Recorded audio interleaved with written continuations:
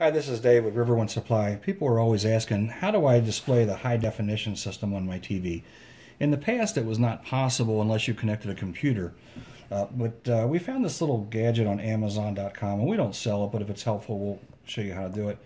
It's called an HDMI dongle. You plug it into your TV, you download an app on your phone, and after a little bit of fussing to set it up, uh, whatever your phone shows, that's what the TV is going to do. So uh, you're up and down, you're sideways, and it's seven degrees out right now. So watching the barn on the big screen is kind of nice.